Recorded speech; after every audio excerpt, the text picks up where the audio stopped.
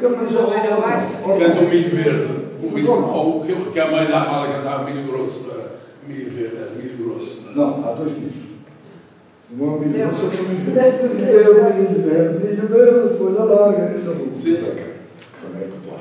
O outro é. E da Gal Costa. sim. Milho grosso, milho grosso. A música é Não, não. não, não. A, a letra muito. É que eu, é que eu ouvi, o que eu ouvi era milho verde, o milho grosso, atuado era menos. A melodia era. Mas agora, agora quando quando sair o meu livro no fundão, Agora, nada. Agora, justamente no folclore, há muita variação, muita imitação, muita versão, muita. Mas vamos lá ver. Ele, por Variante. exemplo, ele, por exemplo eh, a música de Coimbra, a música de Coimbra, tem muito da música açoriana, se repararmos bem. Porque havia muitos estudantes açorianos. Os petingus eram açorianos. E, portanto, ali convergia muita música de todo o país. E eu, francamente, não sei se, se, se, se o Zeca Afonso conheceu o brasileiro na Beira Baixa, se, se conheceu em Coimbra. Já o milho é mais difícil ir para Coimbra. Porque milho é uma coisa, uma coisa da Sacha do milho, é diferente. Agora, em Coimbra, aquilo era um alfobre de músicas vindas de todo o país. É um, é um fenómeno muito interessante que carece de estudo, para o qual eu não tenho preparação. E, portanto, não, não ouso trilhar esses caminhos sob, sob o risco de, dizer as neiras. É mais ou menos esta a impressão que eu tenho daquilo, daquilo que conheço. Não é? Eh, Ouço o Mano, conheço eh, eh, os fatos de Coimbra e tudo. Aquilo parece uma, uma, uma, uma, uma versão operática de, de temas populares. Tradição da balada. Eh, eh, mas, mas em versão prática, é? O que eu quero dizer é que o termo aplicado à, canção de Coimbra, ele é consagrado já no século XIX, ainda no século XIX. Eu tenho, eu tenho uma compilação, eu penso que sim. Eu penso que sim. tenho uma edição do Hilário do século XIX. Certo, certo. Fábrica. Sim, sim, sim, sim, sim, E, portanto, não é uma coisa que se rejeita assim. Não, mas, mas são, são os estudantes, os estudiosos coimbrões que estão a, estão a negar. São, são, são. Não sei quem são. São, são, são, são, são, são os estudiosos coimbrões que estão a negar. Eu não entro nessa guerra porque, francamente, não é assunto que eu tenho estudado. Portanto, não, não, não Se bem. calhar algum- algum desses estudiosos que não era de poeta também. Existe alguma Apropria-se. exposição ou Apropria- cuidado? A capital apropria tudo, as capitais apropriam tudo. Eh, Não é só a capital, aqui as serras do Porto não existem. O Porto, o Porto comporta-se como eles, muito norte também. José existe alguma forma, eh, já mais ou menos em embrião, institucionalizada, de unificar, de reunir, de, de- de colocar em diálogo todas as pessoas que se dedicam a estes temas, quer do ponto de vista literário, não é? Quer do ponto de vista musical, que estão intimamente ligados e são possíveis de, de distinguir, no sentido de, de facto, nós tivemos aqui, por exemplo, uma vez uma sessão muito interessante com o Jorge Ribeiro, ali da Universidade de Aveiro, que trouxe até uns brasileiros que nos tocaram umas modinhas, uma coisa maravilhosa. Eh, entretanto, pronto, há efetivamente a Oliveira Nério, mas eh, haverá muito mais gente a trabalhar nestes assuntos, para além de, de- de vocês, cada um na sua vertente. O, o, Arnaldo Saraiva, portanto, quando julgo saber, mais do ponto de vista literário, é? o José Sardinha, mais do ponto de vista musical, etc. Mas eh, o que a gente conclui, dá uma ideia, eu como espectador, como ouvinte, como pessoa que vem aqui aprender, o que eu concluo é que isto é uma, eh, uma, uma, uma fusão tão grande, tão grande, tão grande, que é como se fosse um batido, não é? Quer dizer, misturaram-se uma quantidade de ingredientes e, e tudo isto, porque também já tivemos aqui o nosso malogrado, infelizmente, um, João Heitor Rigou, que fez parte dos corpos sociais da nossa associação, que nos apresentou uma bela coisa sobre o London.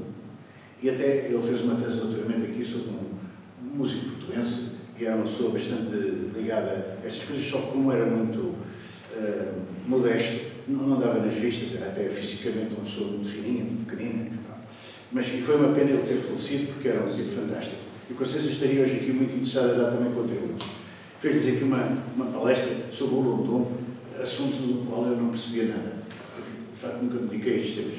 Uh, mas que dá vontade, ou daria vontade de haver uma espécie de um congresso, Congresso. ópera, qualquer, e que as pessoas não fossem para lá todas, cada uma, defender acirradamente uma, uma perspectiva qualquer, mas que. Mas é inevitável, vai haver, é inevitável que há defesas e teses e, e argumentos mais favoráveis ou à tradição árabe, ou à tradição brasileira, ou à tradição africana, ou à tradição até ibérica mesmo.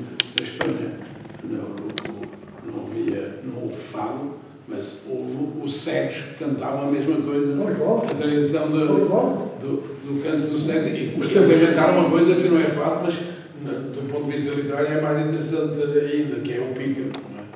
O pícaro nasce do romance cego. É? Sim. E, portanto, bom, mas evidentemente que eu estou quase totalmente de acordo com o Alberto Sardinha nesta recuperação das tradições populares que vem desde a Idade Média e de, dos cantores ambulantes, ou dos cantadores ambulantes, que eram fundamentalmente os cegos, que andavam pelas feiras, que andavam depois quando os transportes, andavam os transportes. foram muito maltratados pelos estudos de, de música tradicional.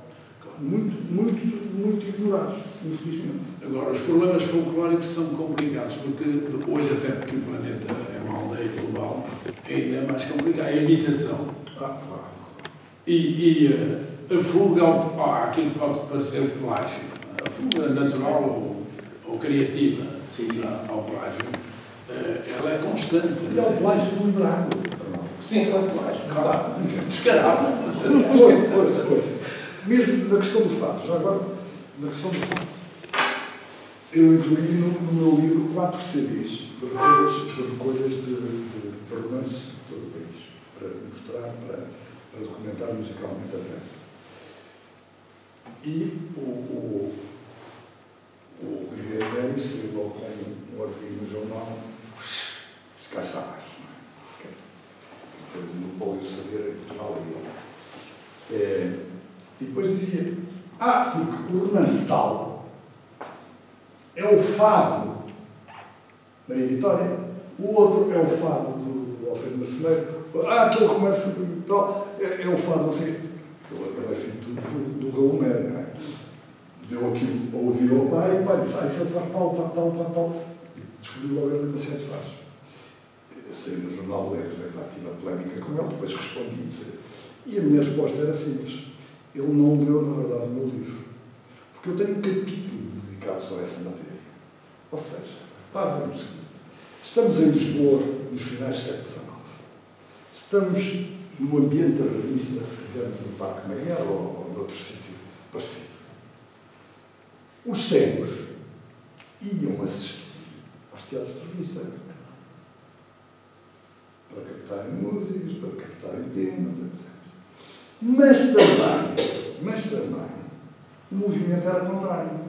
Quantos temas musicais estão, estarão registados em nome de A, B ou C e que serão da, da tradição popular e que serão de, de- de temas que essas pessoas deram a um, a ceguinho para fazer, pagaram 50 paus ou dois tostões, faz, epá, faz-me aí um tema musical sobre isto assim, assim. E a ver está. Quantos? Quantos? Não é? Não sabemos. Portanto, é claro que o, movimento musical de Lisboa para fora existiu. Ou seja, do teatro revista para, para os ceguinhos e para o país existiu. Há muito, muita música de revista eh, lançada pelo país todo, rural, que foi lançada para os ceguinhos. Mas o sentido inverso também existiu.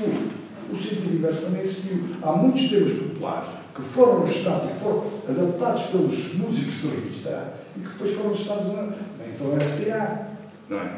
E portanto, e, portanto vá-se lá agora saber. No mundo folclórico, o intercâmbio, os movimentos de- do culto para o popular ou do popular para o culto são constantes. Constantes. Constantes. E, mas eu também acho que não é só os cegos, aos cegos que se deve importar a tradição do fado.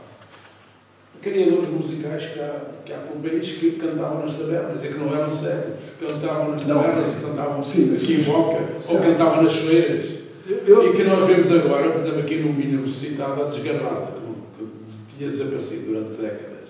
As cantigas ao desafio, que é um fundo de criatividade permanente também.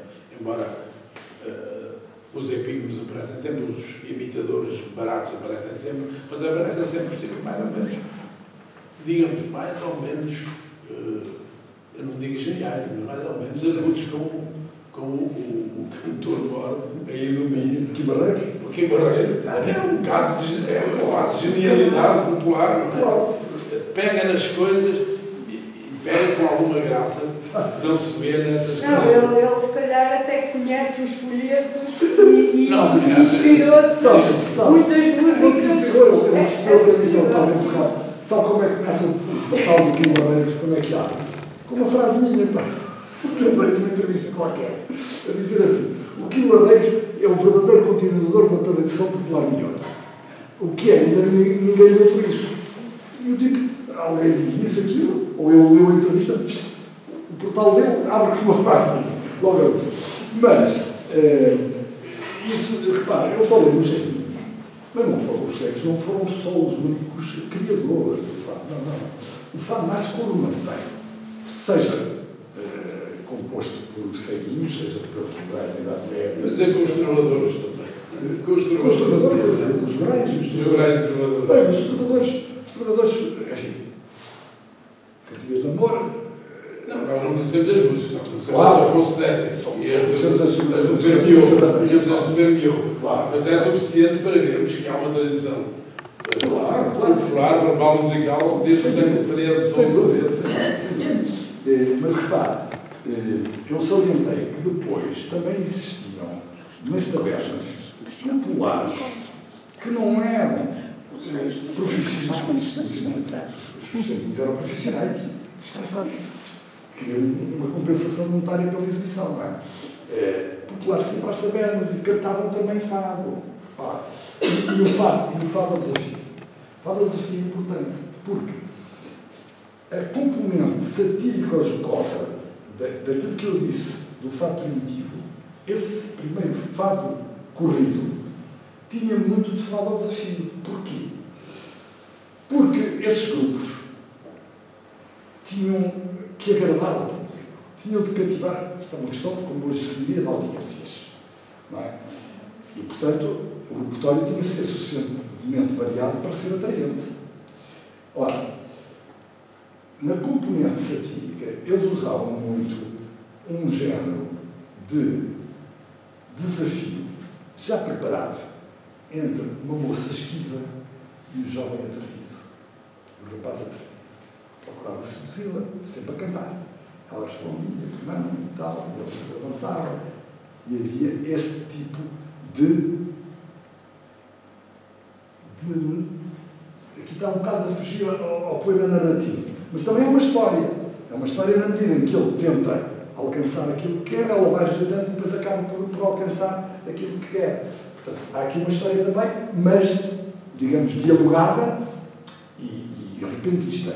Muitas vezes a parte deles é já mais ou menos preparada. Mais ou menos preparada. Eh, mas eh, o canto ao desafio também era utilizado, eh, também era utilizado nesse sentido e, sobretudo, ao fato corrido sobretudo ao fato corrido. Neste, neste, neste ambiente, no norte diferente, melhores, chuvas, etc., cana sobretudo a cana não. Mas neste ambiente tabernário era muito o fato corrido. Que depois, pelo seu ritmo, começou também a ser bailado. Está a ver? E daí que os reis folclóricos de todo o país tenham fado, fado disto, fado, fado saltadinho, fado puladinho, fado assim, fado assado. São características coreográficas que eles introduziram e que depois puseram no, no nome de fado. É um mundo. É interessante é, é reunir os elementos, Eu estou a olhar para os os elementos é? e ver como é que que é que se- vai fixo, tanto como vai, uma forma de modo que irradia depois para de vários lados, ou que tem, tem origens diversas, mas que se cristaliza num certo momento, num certo tempo, em certas circunstâncias. Isso é que é interessante. Como é que, por exemplo, nascem as casas de fado de Lisboa, não é? Não, só a partir das tabernas, já está. As tabernas depois começaram, a, o público da classe média começou a ter uma exigência melhor, não é? Não ia propriamente para o meio da taberna ouvir fado, as próprias tabernas começaram a criar outro conforto eh, e, e, e fechados a tabernas, passavam-se a chamar casas de fado, começavam a servir refeições e tal. Pois é uma indústria. É uma indústria, é um comércio. Lembrei-me de uma coisa, de uma rapariga que na Universidade Católica apresentou uma tese sobre a origem religiosa do canto do fado. Ou seja, cantar de olhos fechados, eh, cantar para cima, eh, com os olhos. portanto, Virados, olha. E, eh, é uma. É aquela que se chama. E só, só preto, só luto, Não só luto Cátia carregado. Tuna. Conhecem esta? Cátia. Não. Tuna defendeu uma tese ultimamente sobre isto. Porque eu, eu andando a procurar assim, umas coisas encontrei isto. E achei piada, eh, porque, quer dizer, eh, enfim, isto é um caldo enorme onde tudo se mistura, não é? É que- É, isso eu não vou muito na tese da caldeirada. Mas é ver- mas isso por virar os olhos, pronto. Ah, também, também ela associava o facto de algumas cantadoras ou cantadores irem de preto. Está bem, isso, dizem que foi a Amália que introduziu isso, eu não sei bem se foi, se não foi, não interessa em colocar. Mas isso, É mas durante muitos anos era só preto. senhora não sabe disso. Todas as cantadeiras, cantadeiras, que é uma palavra que também quase não se usava, cantadeira. Sim, sim. São faço- todo, um conjunto de coisas que eh, de repente define realmente um género que não era género, é. É uma típica, é um fenómeno muito característico em todos os campos, que é, a determinada altura, cristaliza-se ali um, modelo que, que vende e que, e que atrai e que depois chega ao Museu do Fado em E que sobrepõe a muita outra coisa, por exemplo, não se fala da Amália, senão como fadista, que agora a Amália parece que é só fadista. A Amália tem. Cantava folclore. O, o, o número de fados que a Amália canta é reduzidíssimo em relação a tudo o que canta de folclore mundial. Aliás, ela Sim, própria, mundial. aliás, Mundial, mundial. não, ela própria Ela disse, cantou em Estados Unidos, ela cantou jazz. Ela tem músicas Sim, sim, sim. mas ela própria dizia que quando ia ao estrangeiro, que Deus a livrasse de cantar só fases, senão punha a, a, a audiência a dormir. Ela própria dizia, não, eu tenho que ir intercalar. Ela Coisas tristes, coisas alegres, regiões, fazer um bom espetáculo. Agora a Amália é é uma coisa também, é outra coisa ajoelhada, não é? Ela cantava folclore muito bem, ela tem Todo, todo folclore de Portugal, e não só de Portugal, de Espanha, de Espanha, ela- França, a tarantela, a tarantela. Mas ela, ela, ela, e a música espanhola cantava. Sim, sim, ela. Nasci uma vez um italiano falou de delas. Sempre com grande sucesso. E. Sempre que o grande maior sucesso é em Itália e em Espanha, que os espanhóis cantavam para as coisas aos italianos. em cima do corpo. Como? A Amália a cantar eh, folclore italiano ou espanhol tinha mais sucesso que os cantores locais. Acredita. Ela Claro, mesmo muito boa. Basta ver o que há gravado, o que a gente conhece de Itália ou, da Roménia. Na Roménia, é uma coisa pavorosa. Teatros inteiros de, eh, ao rubro, não é? Sim, sim, sim. Lembro do último espetáculo que ela deu no em Lisboa, veio gente do Japão para assistir ao espetáculo. Agora a Amália é só fadista, não é? Pois. Era uma Não, ela cantava todos os géneros musicais. Aliás, eh, ela, ela tinha uma, uma, uma, uma característica realmente interessante. Ela cantava tudo aquilo que sentia que dava com a sua voz, que lhe dava para se cantar. É tudo aquilo, não, fosse como fosse, não era só fado, ela própria dizia isso. Não, ela era muito inteligente. É. Acho que há dois problemas ou duas questões que nos acometem e que são estas e que são difíceis de resolver. Uma delas é o problema do gênio que já vem do romantismo, não é? Porque é que há pessoas como a Amália, como o Zeca Afonso, que transmutam de um nível relativamente bom ou interessante para qualquer coisa de absolutamente extraordinário. Por exemplo, há uma canção do Zeca Afonso que sempre que eu ouço fico extremamente comovido, que se chama O Mar, Canção do Mar. Uma coisa fabulosa, não é? E, e em relação eh, à Amália, com certeza, a gente ouve uma coisa cantada pela Amália e vê imediatamente que aquilo é outra coisa completamente diferente. E no jazz é a mesma coisa, não é? Eh, vive de- até muitas vezes do improviso, do ambiente, uma pessoa que foi numa cave de jazz, não é? É diferente de ouvir jazz não é? Gulbenkian ao ar livre, com aviões a passar por cima, toda a altura. É assim, portanto, é de facto qualquer coisa. Portanto, por um lado é este problema, porque é que há pessoas, de facto, em todos os campos, é? no fundo da vida, que se distinguem profundamente de outras, é? Isto é extraordinário. A outra coisa é o problema antigo, também que vem já do século XIX, eh, e típico da, da, da etnologia, eh, que é o espírito dos povos. Aquela coisa do, Unamuno e outros, né, a querer distinguir eh, os espanhóis mais vivos e vibrantes, os portugueses mais soturnos e melancólicos, não sei o quê. Quer dizer que é sempre uma coisa de uh, cairmos nestes problemas da, da identidade dos povos e do espírito dos povos, que é sempre muito perigosa. Porque é uma espécie de chave que abre todas as portas e não abre nada. Não é? Típico Penso- do romantismo que queria ligar as nacionalidades europeias. Pois, pois, pois, exatamente. Criava esses protótipos, esses, esses arquétipos que são perigosíssimos porque depois reduzem tudo a. É, é, não é? É, mas- foi dominado por uma cultura chamada indo-europeia, que atravessava países asiáticos, médios orientais.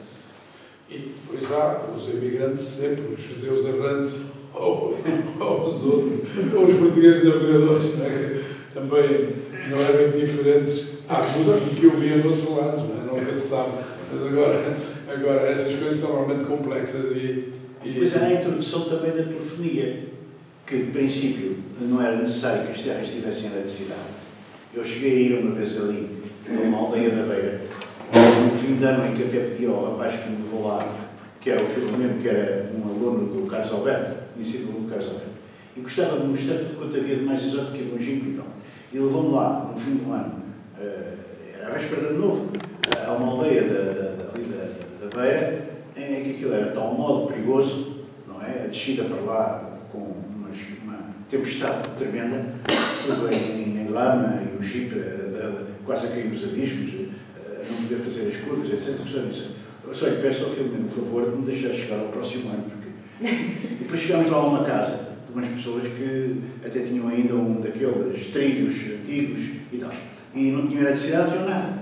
Eram dois velhotes que estavam ali isolados do nada. Aliás, Salvador era o Orlando Ribeiro que dizia que as coisas mais antigas ou mais arcaicas de Portugal que se encontrariam nas montanhas da Beira.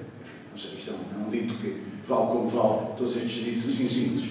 Mas a, a verdade é esta. Hum, as pessoas tinham lá um, um rádiozinho. Eu perguntei, então, mas ouvem aqui música e tal, como é que estão aqui a par do cocó? É que temos aquele rádiozinho das pilhas. Enquanto há pilhas, a gente consegue. Mas a, a questão, a questão dos génios é, é uma questão até filosófica. Se quisermos ler o, o livro do Acaso e a Necessidade, podemos. Pá, quantas amálias não ficaram nas aldeias perdidas? Quantas vozes iguais às do Ramão? É Edith Piaf.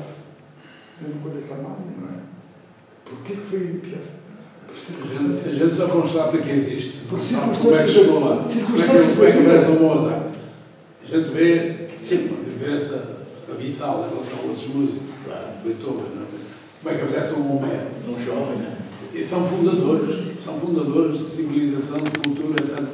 Eles existem agora. Se calhar isso Como é que se formam? Como é que se formam? É, é muito pior que os best-sellers. Como é que, como é que há best-sellers? Muito pior. Os best-sellers a gente explica bem. Se calhar existiram outras que ficaram desconhecidas. não é? Que eles existem, existem como as bruxas. Como as bruxas. circunstâncias da vida da Edith Piaf. Era uma cantora de rua. Era uma cantora de rua. E quando a gente toca aquela voz, Não, é Eu estou aqui a verdade. pensar uma coisa. que queres é que o. eu tenho como dizer relógio, Pois. a trabalhar por seis horas.